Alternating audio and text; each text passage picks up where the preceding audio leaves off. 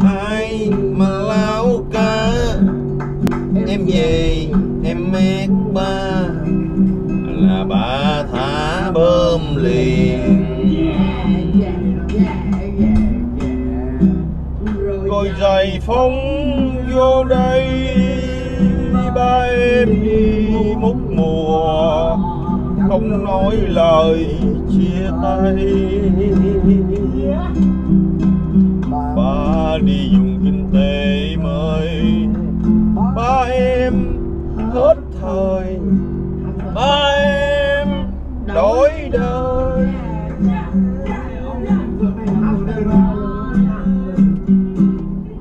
Em là khoai lang mà đào lên thấy khoai mì là điều vô lý. Sau mỗi lần suy nghĩ, ba em liền viết đơn để trình lên với tranh quyền.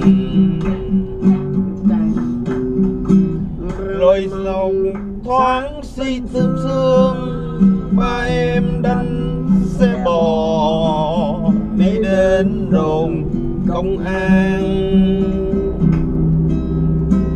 Sau một hồi suy nghĩ, ba em bước vào. Ba em mới nói rằng tôi đây trồng khoai lang đào lên thấy khoai mì thiệt là điều vô lý sau nhiều lần suy nghĩ. nên tôi liền viết đơn để trình lên chú. Công an.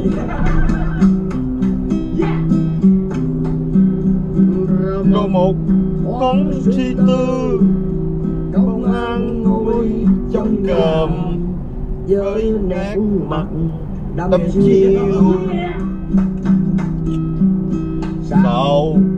người suy nghĩ. Công an dỗ bàn công an, với đôi rằng ăn đây đồng khoai lang, nào lên thấy khoai mì. Thiệt là điều vô lý.